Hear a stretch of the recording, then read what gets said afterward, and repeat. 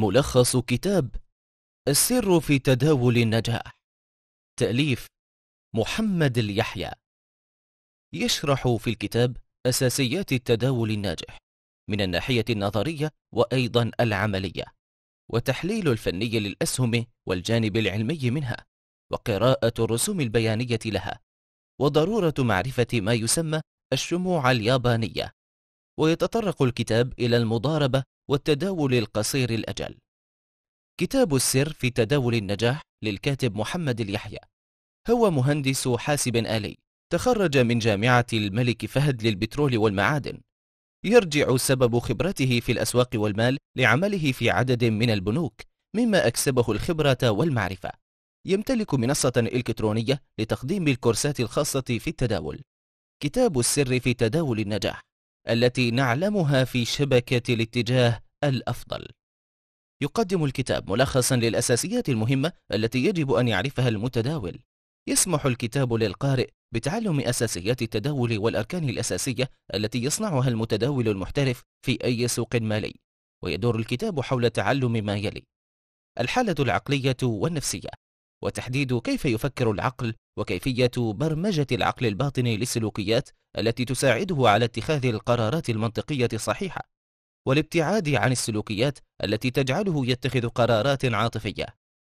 يعتقد معظم المتداولين أن الاهتمام بالجانب الفني والتحليل الفني وتعلم الدخول في الصفقات وكذلك استخدام المؤشرات هو أهم شيء حتى يتقنوا فن التداول ويحققوا أرباحا منه. لسوء الحظ هذا هو أكبر خطأ يرتكبه جميع المتداولين حتى المحترفين في بداية تداولهم.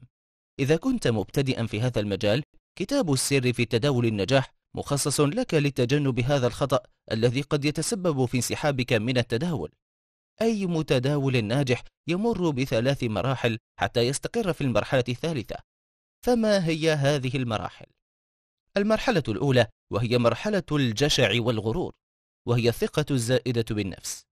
المتداول مبتدئ بعد الحصول على بعض المعلومات في هذا المجال. يعتقد أنه يستطيع تحقيق أرباح مباشرة بالضغط على زر البيع والشراء. لكن سرعان ما يثبت له السوق أن الأمر ليس بهذه السهولة ويصفعه بقوة. تؤدي هذه الصفعة إلى انسحاب ما يقرب من 40% من المتداولين المبتدئين. فقط حوالي 60% ينتقلون إلى المرحلة الثانية. المرحلة الثانية وهي مرحلة الخوف والتوتر وهي انعدام الثقة التام.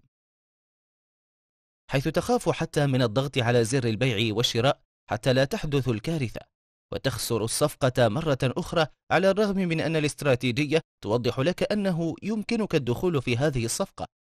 وبالتالي تضيع الكثير من الصفقات ويزداد توترك مما يؤدي إلى الدخول في صفقات خاسرة بسبب تشتيت ذهنك وقلقك. وهنا ينسحب معظم التجار بعد الخسارة حيث تصل نسبتهم إلى حوالي 50% لم يبق منهم سوى 10% فقط. ينتقلون إلى المرحلة الثالثة وهي مرحلة التوازن والاستقرار النفسي في هذه المرحلة.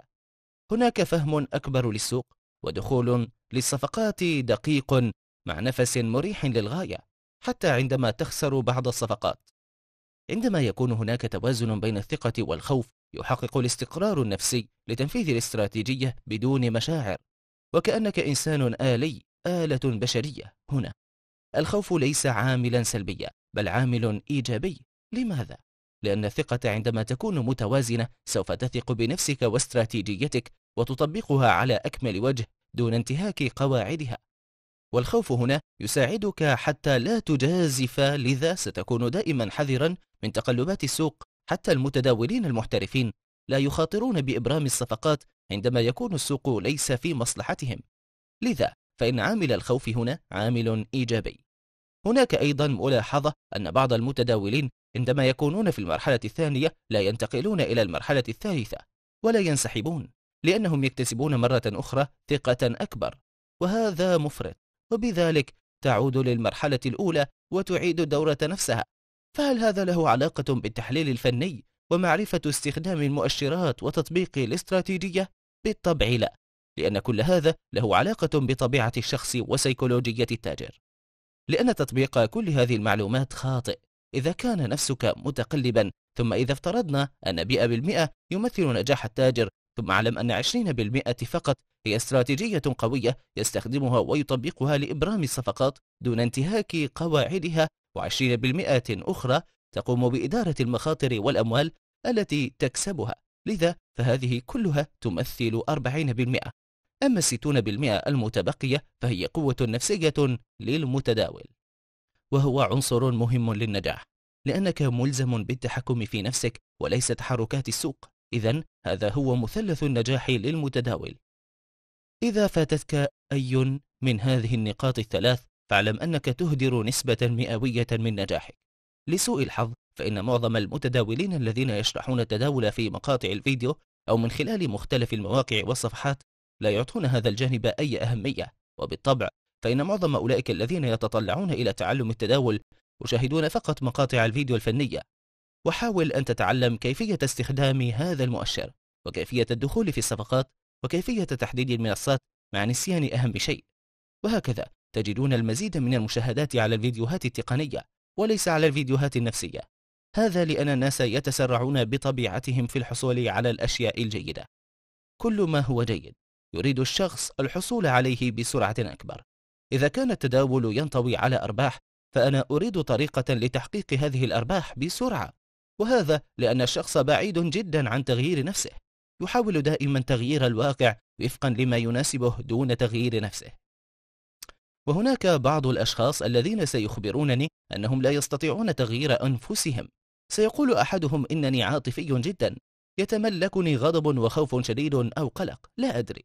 لكن علماء النفس أثبتوا أن الشخص يمكنه تغيير نفسه وتغيير خصائصه تماما ويمكنك أن تصبح شخصا آخر له خصائص أخرى إذا عملت على نفسك واستثمرت وقتك في صقل أخلاقك وسلوكك.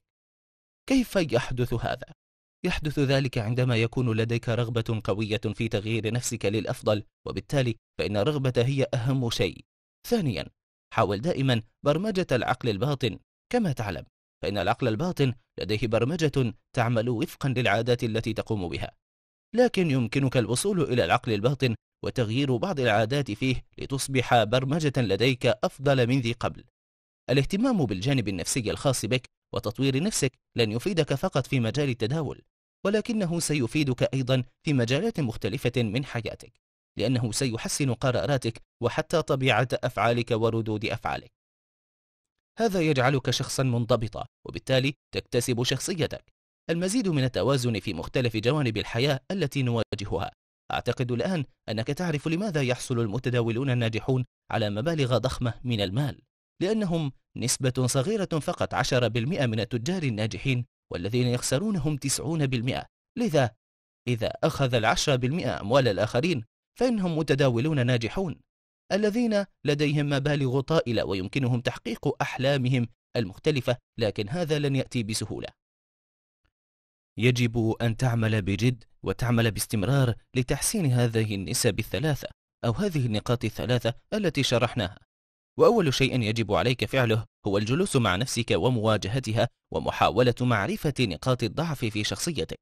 فلدينا جميعا نقاط ضعف لأن الكلمات والأحداث تؤثر على مشاعرنا وعواطفنا ويؤثر هذا الأخير على قراراتنا وردود أفعالنا. وبالتالي فإن كل ذلك له تأثير علينا. الحالة النفسية والتأثير يختلف من شخص لآخر.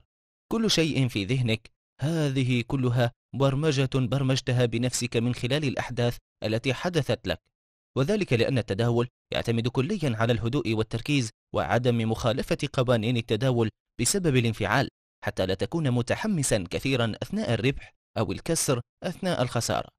باختصار يجب أن تتداول كما لو كنت رجلا بلا مشاعر أو عواطف. يتم تنفيذها فقط على النحو المبرمج.